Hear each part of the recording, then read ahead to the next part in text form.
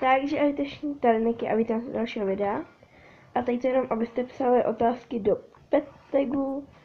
Tady s tím krasavcem, vejt. A je mi jedna jaký otázky. Například třeba kolik moje let a tak. A nevíte prostě prosím nechme tak ještě ležím v posteli a vám šunky. Tak jo, tak pište otázky, budu se na vás těšit u pettegu. I tady s tím mindirákem. Zatička a to bude teda všechno a ahoj.